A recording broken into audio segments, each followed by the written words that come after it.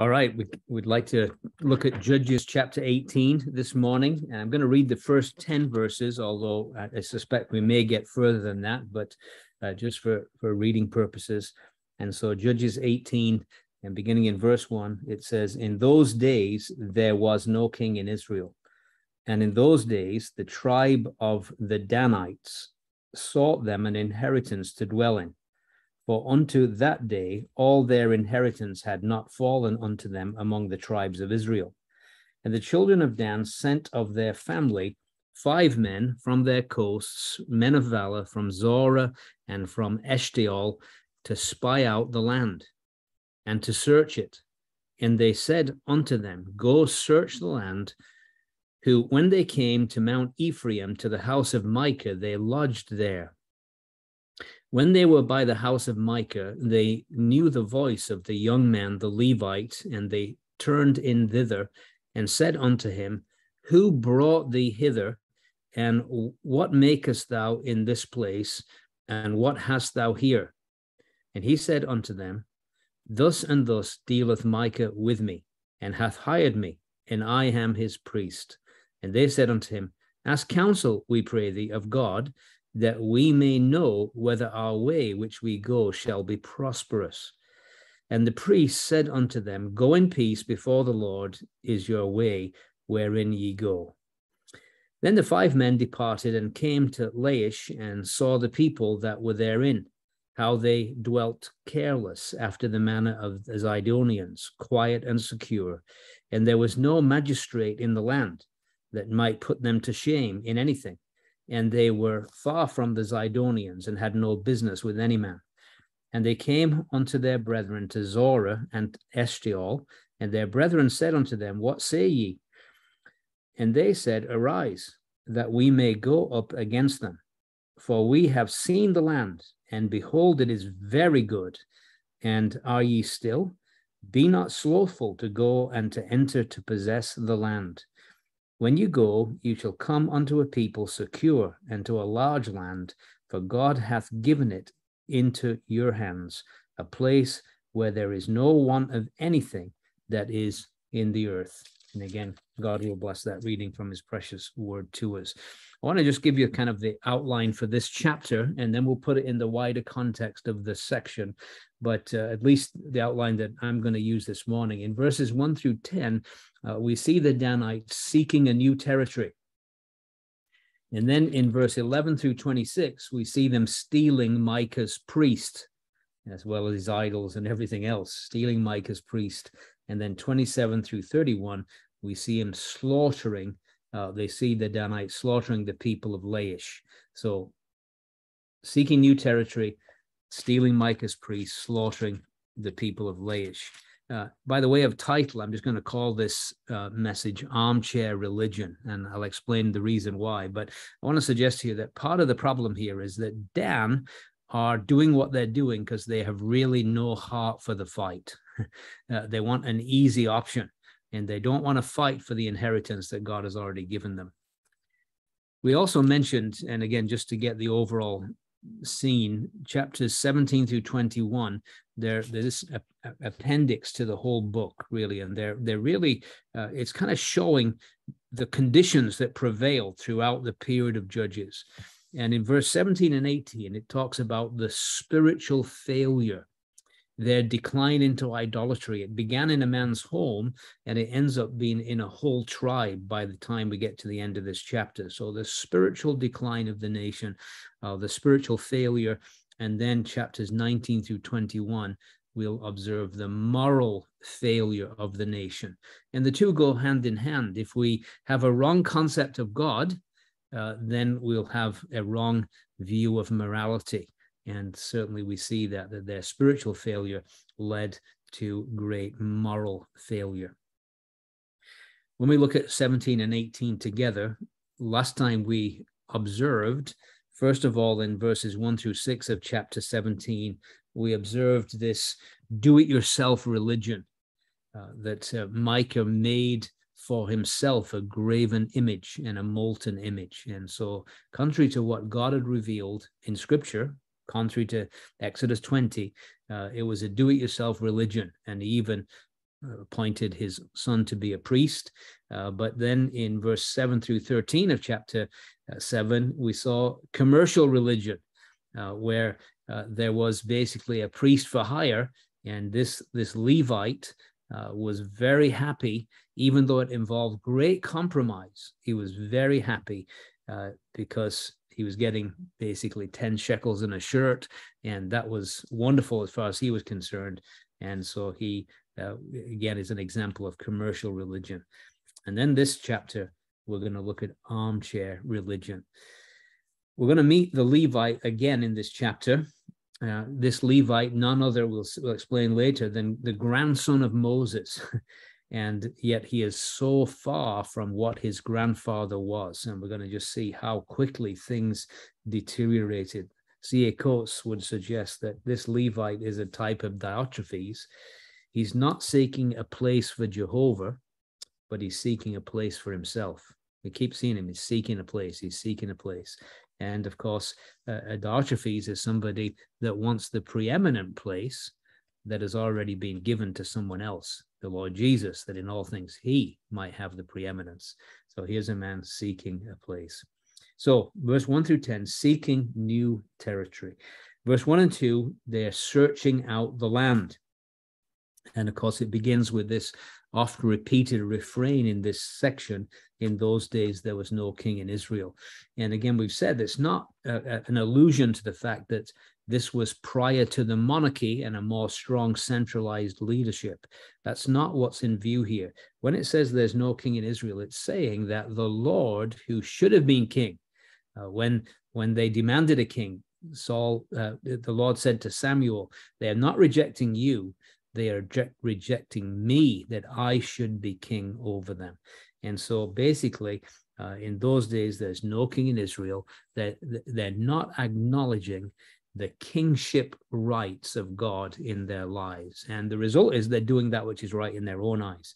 And so we've got another example of that here in this chapter. It says, And in those days, the tribe of the Danites sought them an inheritance to dwell in. And so they're looking for a, an, an inheritance. The problem is, God had already given them an inheritance, and uh, they failed to enter into it. Certainly, Dan proved himself to be the weakest of the tribes of Israel. We see back in chapter one of the book of Judges that they had been forced up into the mountains uh, first of all, by the Amorites. In chapter 1 and verse 34, it says, The Amorites forced the children of Dan into the mountain, for they would not suffer them to come down to the valley.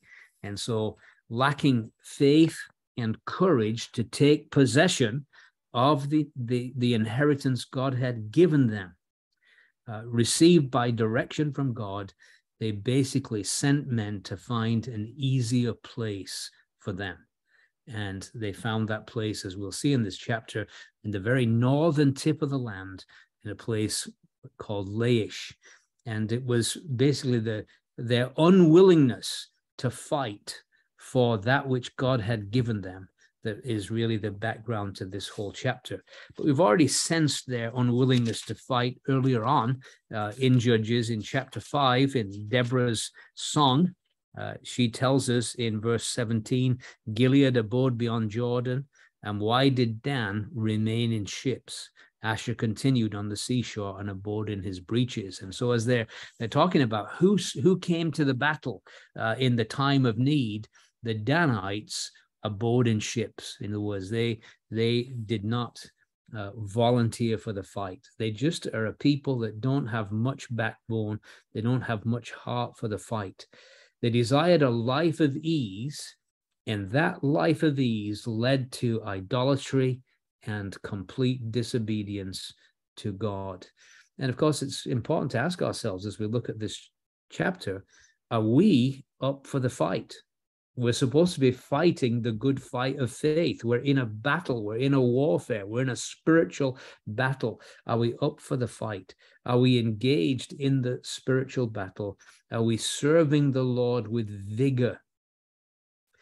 Because if we're not, it's very easy to drift in a direction that would lead to complete departure and apostasy. And we certainly see that amongst the tribe of Dan. No heart for a fight. That really is the, the root of all of these difficulties. Um, this desire in a life of ease. So, are we up for the fight? Failure to deal with the old life of Canaan, the Amorites, chapter 1, verse 34, ultimately robbed them of enjoying the full inheritance that God had for them. And again, our failure to deal with the old life uh, robs us of enjoying the full inheritance the Lord wants us to have in the Lord Jesus, entering in uh, to the great inheritance we have in the heavenly places. Sometimes it's our failure to deal with the old life. They represented those who have been uh, professedly and nominally on heavenly ground, but they're not satisfied there and they're not willing to because it because it's too hard because in the heavenly places there's warfare there's a spiritual warfare and it puts too much demand on them and they want an easier option. No doubt they would explain this by the the amorites and later the philistines as their reason for being forced to live in a confined area in the hill country but the Lord had promised, you see, that if they would go into the land, that He would be with them, that He would fight their battles for them, that He would strengthen them. If they would just simply trust Him, if they would just have faith and courage, they could enter into the fullness that God intended for them. But they failed. We might say that God is looking for heroes today. In chapters 3 through 16, when God raised up these judges, we had examples of heroes, uh, men who were willing to fight uh, for that which was given to them by God, men who were willing to enter into the battle. But we see in chapter 17 through 21, there are no heroes, none whatsoever. Isn't it easy sometimes for all of us to leave a hard place where God has put us and run away to an easier place? It kind of robs us a lot, really, of the humbling needed to seek God's help and guidance in the difficulties. And I think in our culture generally, there's this mentality of if you're going through a difficult patch, the best thing to do is bail out. You know, just get out of there. You're going through a difficult marriage, abandon ship. Uh, going through difficulties in the assembly, just leave. Uh, that's the mentality, right? Let's find an easier place. And that's what's going on here. God had given them an inheritance. It was a, a marvelous inheritance, but it was a hard place because you got these Amorites, you got these Philistines, you got opposition, you got difficulty. And so the easiest option for them was to look somewhere else for an easier place. They were discontented with the place God had given them and they ended up leaving there and making a thorough nuisance of themselves. So often, the Lord's people can make a nuisance of themselves if they're running away from problems. The problem is they take the real source of the problem with them and they cause trouble wherever they go. So, verse 2 it says, The children of Dan sent of their family five men from their course, men of valor from Zorah, from Eshtaol, to spy out the land and to search it. And they said to them, Go search the land. Who, when they came to Mount Ephraim, to the house of Micah, they lodged there.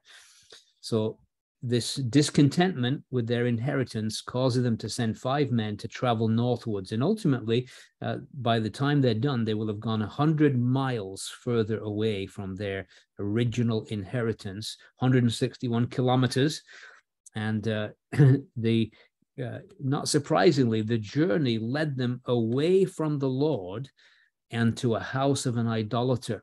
And that's where they end up the people of God who are not satisfied with the full enjoyment of their own inheritance are ready for the enemy to come in and lead them astray. An unfilled heart, a heart that's failed to enter upon its own portion, which is uh, given to us through the Lord, is open to great assaults from the enemy. So they, they go on a survey of the land, but uh, the last survey of the land where their inheritance was given to them was in Joshua 18 and verses 2 through 10. And this was uh, the, the, the, the God appointed, if you like, uh, survey of the land to distribute to the tribes what would be their inheritance. but now they're doing again that which has already been done before because they're not satisfied with their portion. And so they're out surveying the land. And so, verse three through six, uh, not only are they uh, busy searching out the land, they are now seeking guidance.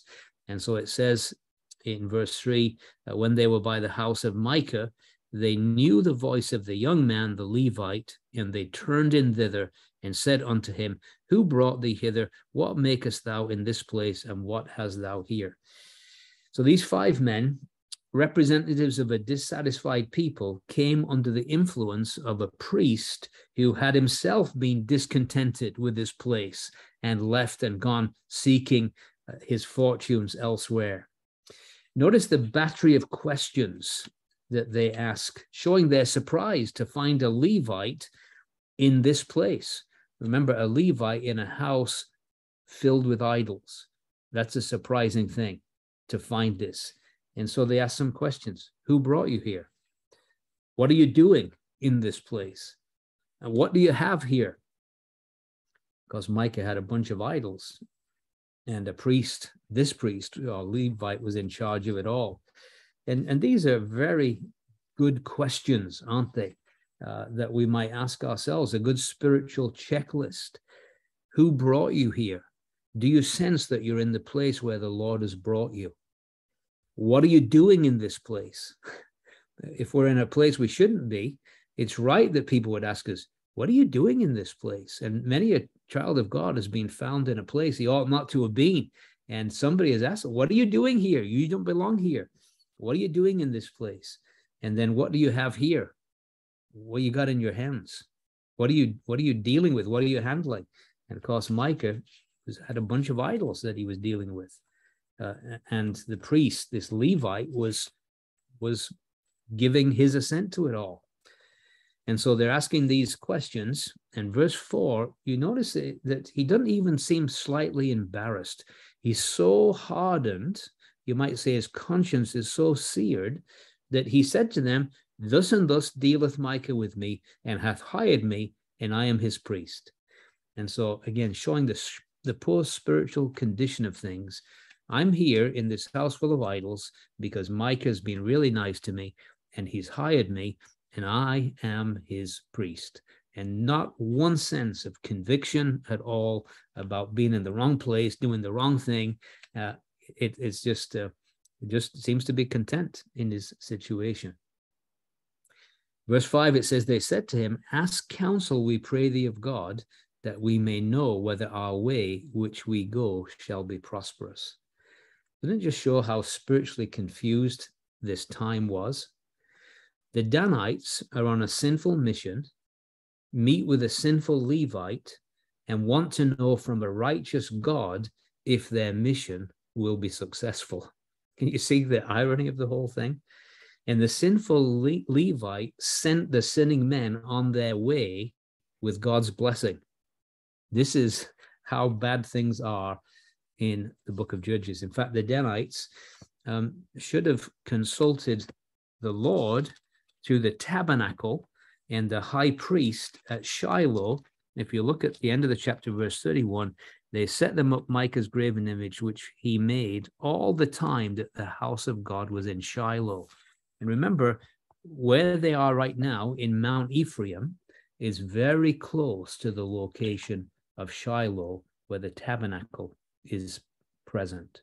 And the God is present in the tabernacle. The ark of God is there, the high priest is there. And what do they do? Instead of going to seek counsel in the place that God had chosen to place his name, they go to this man who's out of the will of God in a house full of idols and they seek advice there. Because what they were wanting was somebody just to give them the go ahead to pursue their wrong course. And sometimes we can seek guidance in the wrong place because we don't want our answer or our, our, our search to be questioned. Uh, we want somebody to tell us what we want to hear. And so we ask the people that are going to confirm uh, our rebellious decision. And so they they ask they say ask counsel of God. It's interesting, isn't it? How they they're asking counsel of God. They don't mention Jehovah. It's Elohim. Uh, again, would this be an indication of their poor spiritual condition? Uh, not the covenant name for God, but just ask God for us.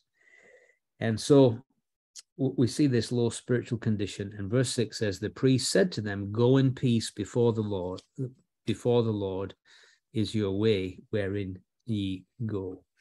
And so, very little indication here that this Levite spends a lot of time praying and seeking the Lord's mind. Uh, he made no attempt, it would seem, to seek God's guidance at all. He just told them exactly what they wanted to hear. And of course, in doing so, he took the, the covenant name for God on his lips. The priest said to them, Go in peace before the Lord is your way wherein ye go.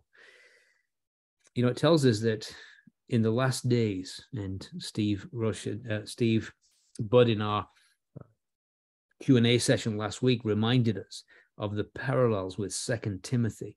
And we have a parallel, parallel in Second Timothy 4 and verse 3 to what is going on here. Let me just take a moment to read it, but it really does parallel what we find here is that they were looking for somebody to tell them what they wanted to hear.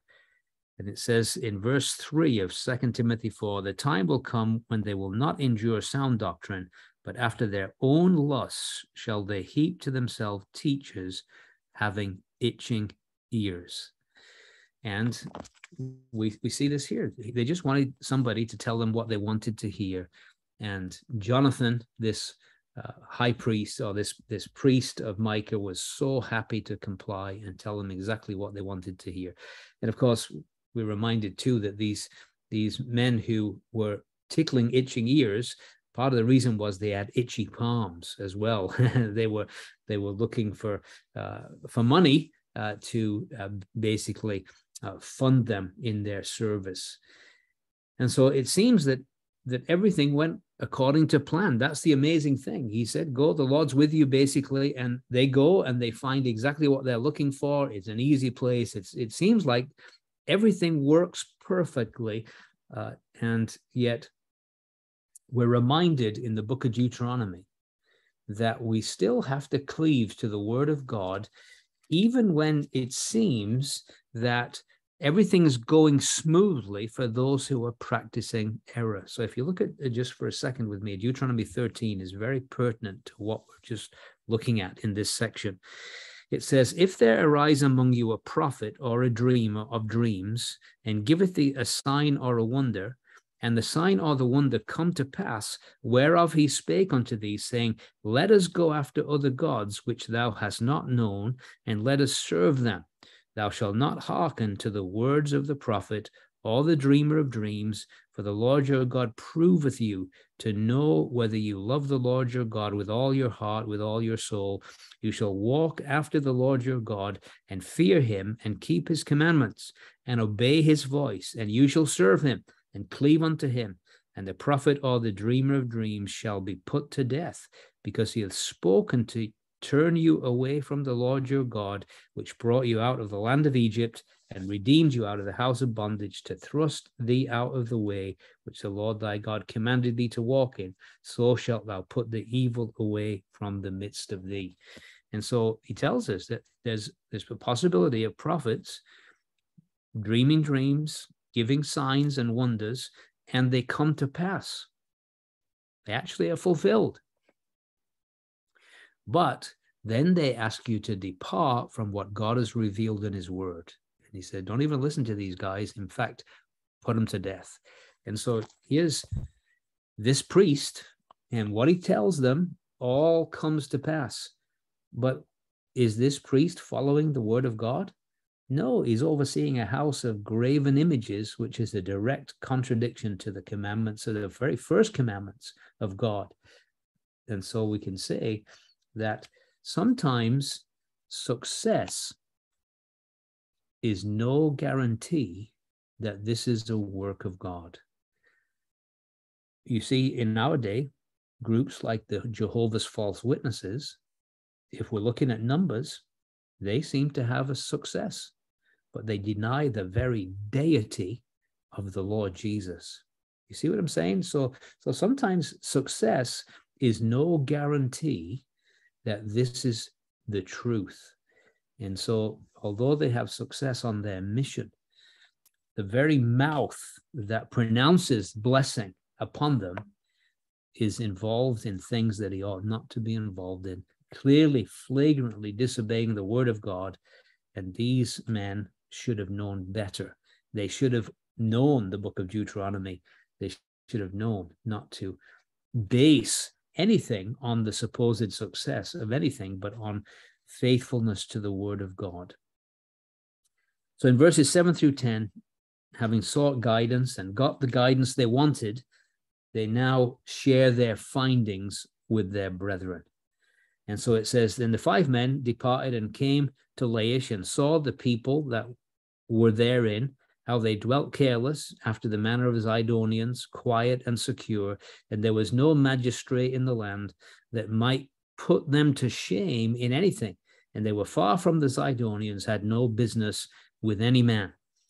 I want to just kind of talk a little bit about this verse because I see in this verse the great makings of a gospel message because it's a very uh, fascinating thing. These people are a careless people.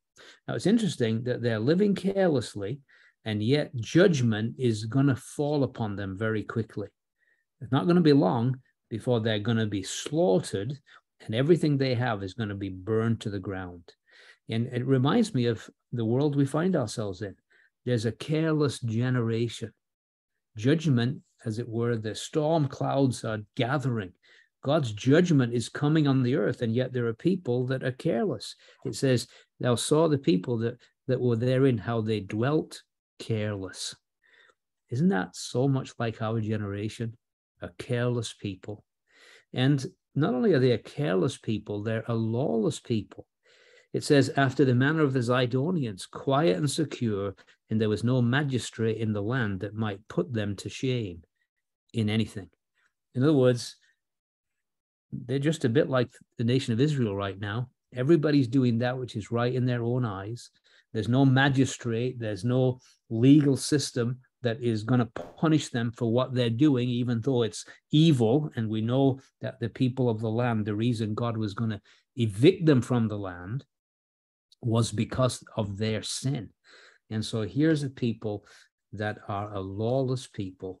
There's there not only is there no justice being seen, no magistrate, but there's no shame. Well, does that describe North America at this time in history?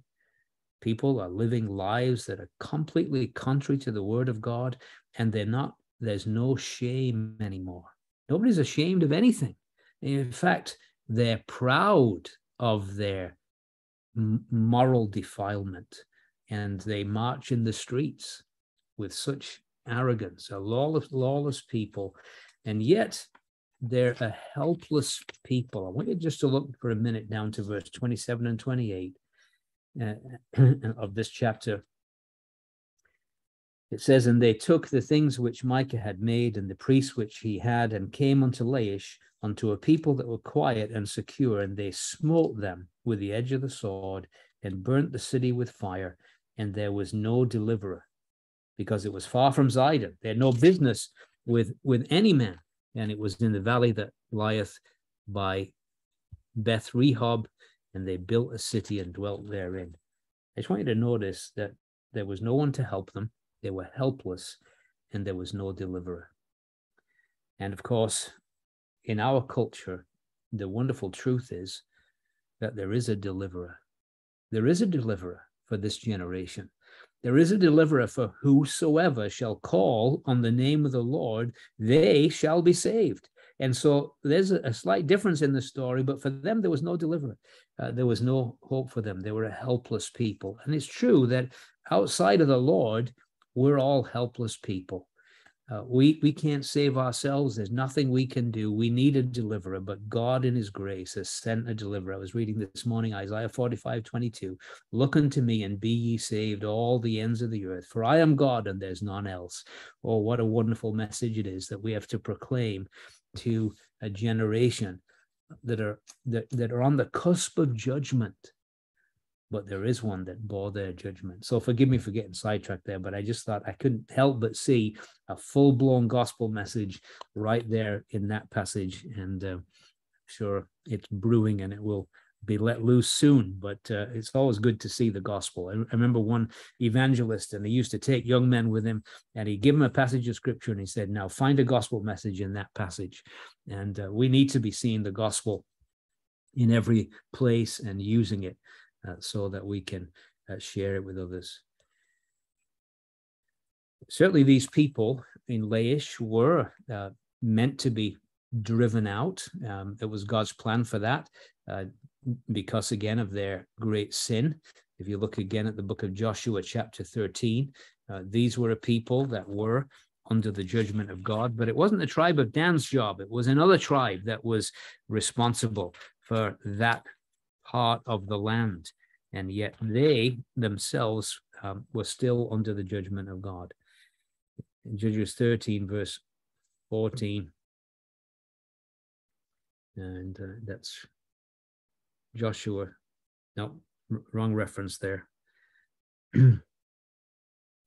oh yeah, verse 13 perhaps says, Nevertheless, the children of Israel expelled not the Geshurites nor the Maachathites, but the Geshurites, the Maachathites dwell among the Israelites to this day. Just see verse 24. Anyway, basically they were they were part of this listing in chapter 13 that was supposed to be driven out of the land and executed uh, because of their sin and their rebellion.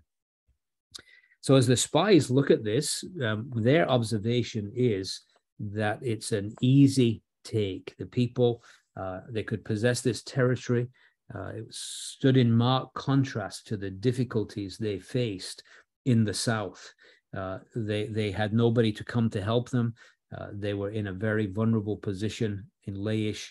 Uh, part of it was they were Sidonians, and uh, they were cut off from uh, the Phoenician city of Sidon by, by, Mount Lebanon on one side, and they were isolated by Mount Hermon on the other side. So there's nobody can come and rescue them. They're in a place that is very vulnerable, and so that is why they look at it and they say, "This is an easy take. We can we can take this land." And so they came to their brethren to Zorah and Eshtaol. And their brethren said to them, What say ye? Verse 9, they said, Arise, that we may go up against them, for we have seen the land, and behold, it's very good. And are ye still? Be not slothful to go and to enter to possess the land, when you go, you shall come to a people secure to a large land, for God hath given it into your hands, a place where there's no want of anything that is on the earth. Now, what I want us to do just for a moment is I want us to look back to Deuteronomy again and see how much of what they're saying parallels what had been said about the entire land, especially uh, that uh, the goodness of the land and all the rest of it. It's almost like they're parroting Deuteronomy 8 and verses uh, 7 and 8. Deuteronomy chapter 8 and verses 7 and 8, where we read this. It says, For the Lord thy God bringeth thee into a good land, a land of brooks, of water, of fountains and depths and springs out of the valleys and hills, a land of wheat and barley and vines and fig trees and pomegranates, a land of olive oil and honey, and so on and so forth. So they, they were promised a good land, and they they see this, and their report really echoes that. Uh, they came to their brethren. They said, Arise, that we may go up against them, for we have seen the land, and behold, it's very good. And are you still? Be not slothful to go and enter to possess the land. It's a pity that they didn't give that challenge when they were in the south, when they were in the land God had allotted to them. Why are you slothful? Let's get up and take the land. There's kind of a, a mentality, I think it's in all of us, but it always seems to be easier somewhere else. You know, if I was on the mission field, it would be so much easier to be a witness than it is where I am. If I was, you know, in this place where it seems like God is blessing, it'd be so much easier. Instead of recognizing the place that God has placed me and not being slothful, but seeking to enter to possess the land where I am. And so he says, be not, they say, be not slothful, let's go in and enter it. Uh, it says, um, it's a large land, God has given it into your hands. Well, that's exactly what was said about their own inheritance. God had given the whole land into their hands, but they didn't have the faith and courage to do it. Some have suggested that this was a conquest worthy of a Lot, but not of an Abraham. It might have been a well watered plain, but it's not what God had promised them. They preferred a conquest without danger. They spoke enthusiastically about this land, but they weren't enthusiastic about the true inheritance that God had given them. And it became a very dangerous place to them because even though it was easy to take, it became basically the the the, the on the main invasion route of the land of Israel. Remember, all the invasions of Israel seemed to come down from the north, and this was on that very route. Uh, in fact, if we if we look at Jeremiah chapter four, Jeremiah the prophet in chapter four, we will see that this area was on that main invasion route and it was a very dangerous place, even though it was easy to get in the first place, but they put themselves in a place of great danger and great danger of judgment. So, Jeremiah 4, verses 15 and 16, it says, For a voice declareth from Dan, and publisheth affliction from Mount Ephraim. Make ye mention to the nations, behold, publish against Jerusalem that watchers come from a far country and give out their voice against the cities of Judah. And so, where did they come? Where did they declare it from? From Dan. They came from the north. This was the main invasion route where both the Assyrians, Babylonians would come into the land. And so they put themselves in that place of great danger by not being contented with God's inheritance and going away from the place that he had set for them. Notice verse 11 now. It says, There went from thence of the family of the Danites out of Zorah and out of Eshtaol 600 men appointed with weapons of war. So they appoint an army of 600 men to fight for the city of Laish in the land of the tribe of Ephraim. See, it should have been Ephraim's land. Yet they couldn't fight for the land of their own tribal allotment. And again, as we've said to them, and often to us, a distant battle seemed easier than a close battle. Interesting that not everybody went. It's only a small portion of the tribe of Dan. Remember that when they numbered the tribes uh, in the second numbering in Deuteronomy, uh, sorry, Numbers 26, it tells us that there were 64,400 of the tribe of Dan able to go to war. That's a large number, and yet only 600 went. So a lot of people stayed. In fact, Samson, as we've already learned about, he he and his family stayed in their allotted area, even though they didn't fully inherit it, they stayed. But this small group migrate up to the north, these dissatisfied ones, and they basically divide the tribe of Dan into two groups, the one in the north and the one in the south. So they, they were prepared to fight where they perceived it to be easy battles, but they had no desire to engage in the fight of faith against their enemies, which called for total dependence on the Lord. So this group only represented a proportion of the tribe. And again, he, he said these 600 armed men uh, and they're they're ready for battle. But why did they not go into battle where God had placed them? Why were they willing to go to this other place? Notice verse 12, it says, They went up and pitched in Kirjath Jearim in Judah, wherefore they called that place Mahanehdan. and unto this day, behold, it is behind Kirjath Jearim. And this place uh, is really the camp of Dan. We've already seen it once. It's called the camp of Dan in Judges 13, verse 25, where the Spirit of the Lord began to move on Samson many years later. It says the Spirit of the Lord began to move him at times in the camp of Dan between Zorah and Eshtaol. So this is where uh, they gather together in this camp of Dan and ready to go uh, to take this inheritance. And it says in verse 12, uh, they went up and pitched in Kirjath Jearim. Verse 13, they passed thence unto Mount Ephraim, and they came to the house of Micah. It says they then answered the five men that went, verse 14, to spy out the country of Laish, and said unto their brethren, Do you know that there is in these houses an ephod and a teraphim and a graven image and a molten image. Now, therefore, consider what thou have to do. Notice he says, in these houses, plural, suggesting that a small village may have built up around Micah's house to share the worship instituted by him of these graven images. So again, this idolatry is growing now. There are houses, not just the house of Micah, there are houses. And the 600 men were put on watch while the five men plundered Micah's shrine. It's interesting how, even though they thought they'd got a great deal of help from this house in the past, remember when they sought guidance from God and they were given it. Uh, so they they decided for themselves why not take the shrine with them and the priest seeing as it had done them so good in the past? Right let's let's just take it with us. And that's their plan. And so it says in verse 15 uh, they turned to the wood and came to the house of the young man the levite even to the house of micah and saluted him and the 600 men appointed with their weapons of war which were of the children of dan stood by the entering of the gate so, of course, an ominous sight.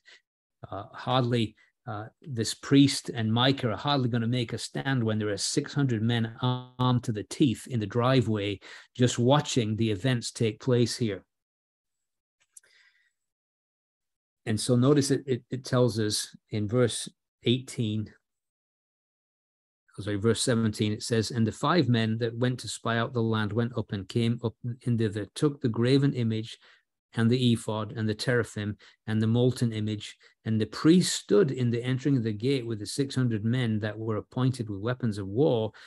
And these went into Micah's house and fetched the carved image, the ephod, and the teraphim, and the molten image. Then said the priest unto them, What do ye?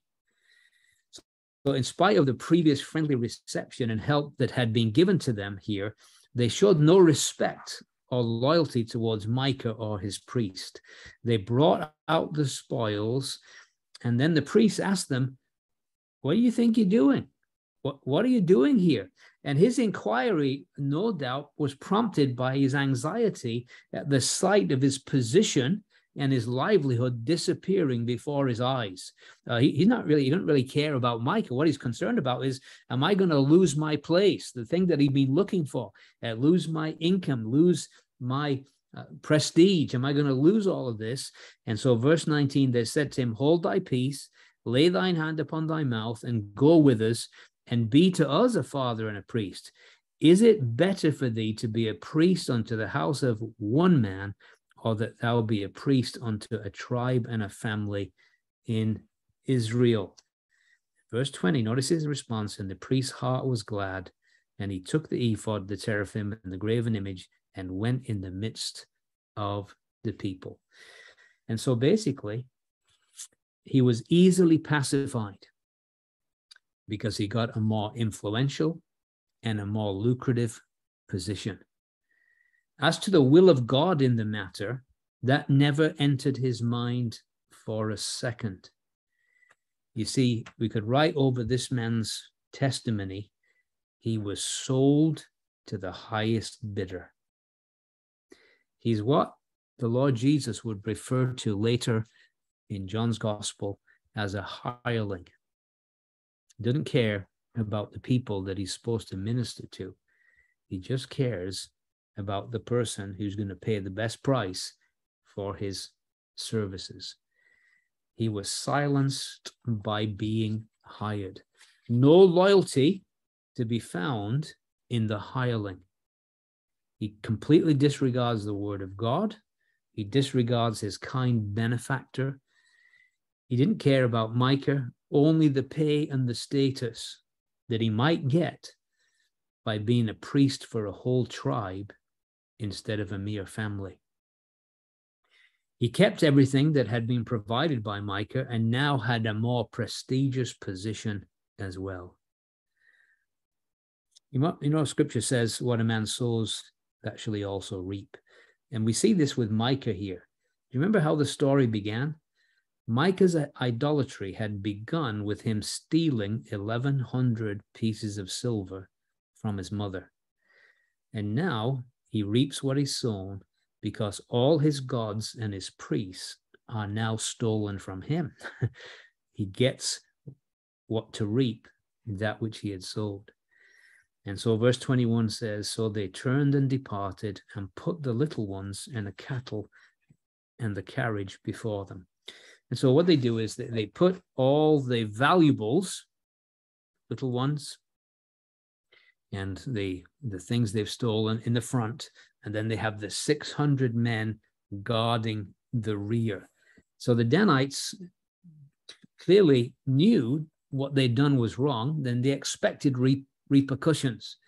And so they, they put the valuables at the front, trying to protect them, and they put these men at the rear uh, to intimidate and protect any uh, possibility of somebody coming to take from them that which is they have stolen. And so we notice in verse 22 and when they were a good way from the house of Micah, the men that were in the houses near to Micah's house were gathered together and overtook the children of Dan again because they've got children with them. Remember, this is this is not just 600 warriors, but they've got children with them and their wives and all. So it slows them down. So so Micah and his neighbors are able to overtake them very quickly. Isn't it sad though that Micah doesn't learn from all this? If he'd have been truly exercised about the matter, he would have perceived that the Lord's hand was in the events. He, he would have realized that Danites had done him a favor in removing the things that were displeasing to the Lord. See, all this idolatry was not pleasing to God. However, his thoughts were dominated by what he thought he had lost rather than any good that could have come out of this seeming disaster in his mind. And so he goes to try and seek to get back that which he thought he had lost that was valuable to him, recruiting the neighbors to, to try and retrieve his gods, which were evidently incapable of looking after themselves. A lot of irony here, isn't it? I mean, these gods are carried away. Uh, they they're not in a position to defend themselves, whereas later on, as we've already studied, you know, we've done this in the wrong order, but when we studied the Ark of the Covenant being taken from the tabernacle, we notice that the Lord did not need anybody to defend himself. He completely wreaked havoc on Dagon, the god of the Philistines, and also on the Philistines themselves. And they, in the end, were quick to send back uh, the God of Israel because he is well able to take care of himself. Whereas these idols are absolutely incapable of looking after themselves or those that bow down to them. Look at verse 23. It says, They cried to the children of Dan, and they turned their faces and said to Micah, What aileth thee that thou comest with such a company? And so they find uh, the Danites feigned surprise at the presence of Micah and said, you know, What's your problem? Micah's reply betrayed a man who was steeped in idolatry and had lost sight and confidence fully in the Lord. He says, You have taken away my gods, verse 24, which I made. Isn't that interesting? You've taken away the gods which I have made. Uh, what, what, a betrayal of what's going on here. This, this, these are gods that he has made. And you're gone away. And what have I more? And what is that you say unto me? What aileth thee? Notice he says, What have I more? In other words, everything this man had had been taken away from him. Isn't it amazing? Brethren, just to remind ourselves today that we have a high priest who nobody or nothing can take away from us. he lives at God's right hand in the power of an endless life, and he will never be taken away. You see, if you have gods and a priest that can be taken away from you, they're clearly not worthy of your worship. This is such an irony, really. He had to rescue his own gods. See, we either worship a God of our own making or we worship the true God who made us. And idolatry is worshiping a God of our own making, whether it's fabricated in a shop or whether it's the product of our imagination. I think this is what God would do in a case like this. Idol worship is just another way of worshiping self. Really, that's what it is. I'm making a God in my image. And of course, and usually it's even inferior to us. Micah was foolish enough to have a priest who could have been taken away. How wonderful to have a priest who can never be taken away from us. It shows how empty Micah's idolatry was. His false gods didn't bring him any lasting good. He says, Now what more do I have? I've lost everything. What more do I have? And basically, he has nothing. Well, that's probably a good place for us to end our thoughts this morning. But just to, as a reminder to all of us, let's not run away from difficult places and difficult situations. Let's trust the Lord and depend on Him to give us victory where He has placed us. And only be led, not because we're looking for an easier option, but because we sense the Lord is the one who is leading us. And we can see, as we're going to conclude this section next time, that it really led to disaster for the tribe of Dan in a very great and serious way. May God encourage us and challenge us with these thoughts this morning. Amen.